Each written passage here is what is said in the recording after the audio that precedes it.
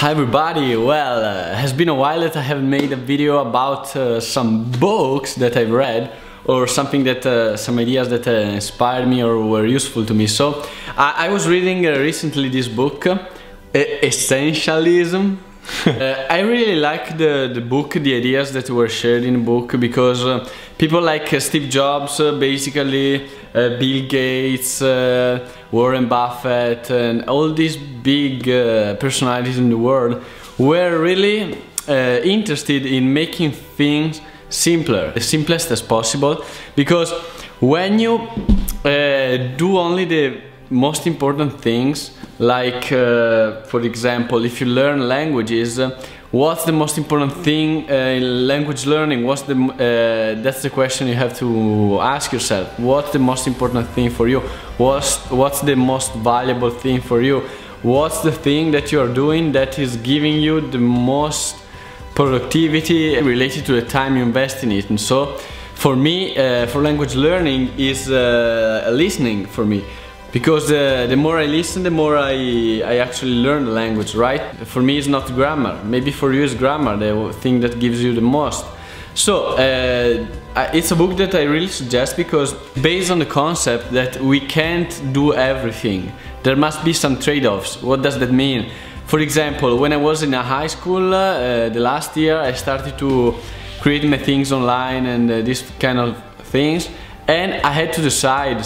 It wasn't a process that I made consciously, but I had to decide, and I actually did it without knowing it. I decided uh, instead of going out every Saturday, Saturday evening, uh, Friday evening with friends, uh, there was a trade-off. Some of these Saturdays, basically with time passing more and more, were uh, spent uh, doing other things like uh, either reading, either um, learning new things, learning languages, either uh, creating something useful for people online, uh, and these kind of things. No, so these are the trade-offs. So reading it, I was really, yeah, that's really true because we can't do everything, especially because if we do everything, there will not be much progress in one direction.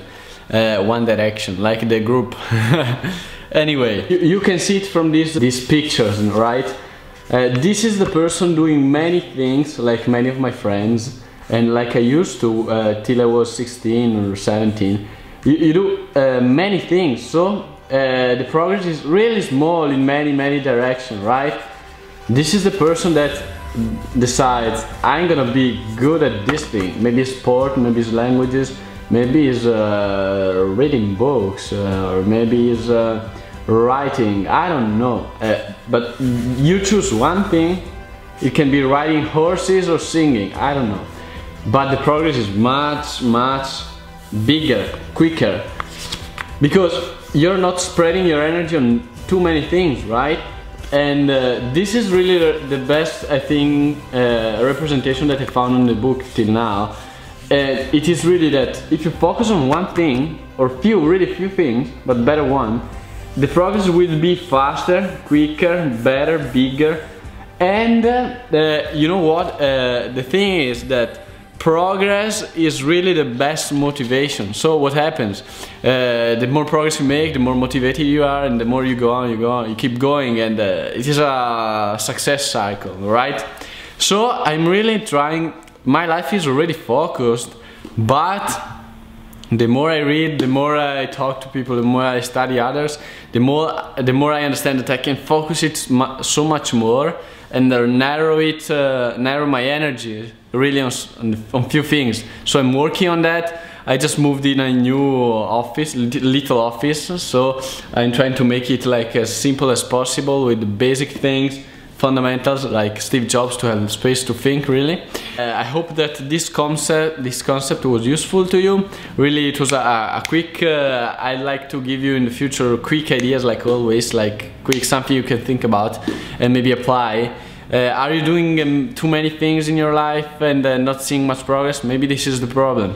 Are you spreading your energy into too many things?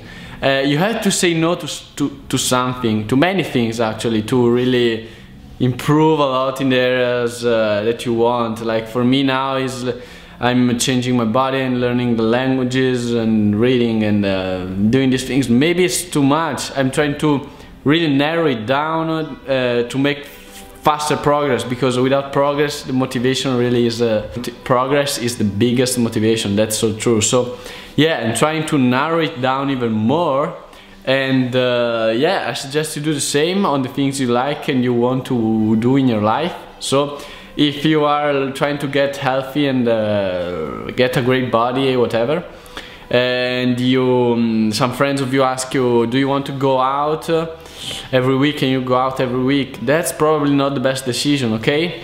Uh, that's the concept. There must be some trade-offs. Maybe you have to either change friends or either uh, mm, find friends that eat healthy. Because we have a limited uh, decision power it's called. We it's limited. So the more we avoid these things the better it is. Like uh, 10 minutes ago uh, I was here in, uh, in business and uh, some, my, my, brother and another friend asked me if I wanted to go out to eat lunch with them. I know that when I go out with them I don't eat uh, as healthy as I want because I have a limited decision power. If I see something that I like every day, my brain's gonna tell me, oh come on, you can eat it.